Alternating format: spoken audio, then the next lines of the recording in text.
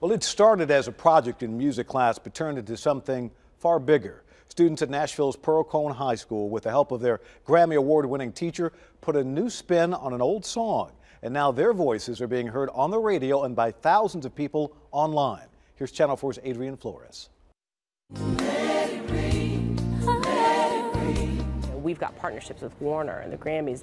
One of the most talented teams in music came together producers, videographers, singers, not in some swanky studio on Music Row, but at one of Nashville's oldest institutions. And Pearl-Cohn is a great school.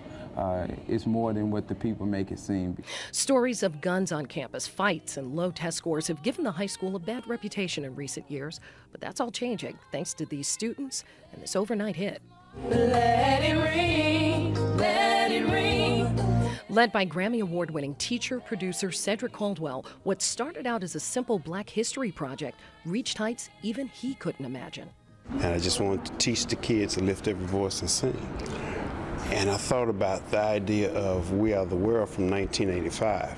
Incorporating every discipline at the school, the students used the same concept to create their own unique twist to the old Negro spiritual. They even shot a documentary about the project. Yeah, we cut it up and uh, made different people who sound great in the, in the part that we thought they would sound great in.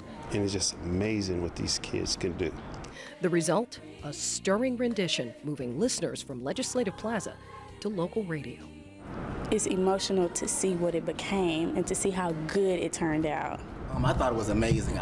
I think it was great for the school because, you know, it's really not what people make it seem. It's a very good school. A simple song students and staff hope will help usher in a new era for Pearl-Cohn.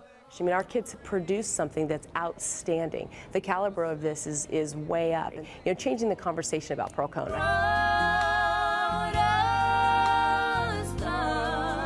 In Nashville, Adrian Flores, Channel 4 News.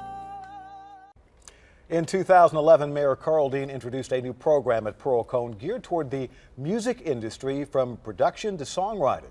According to school officials, Pearl-Cohn is the only entertainment magnet high school in the entire country.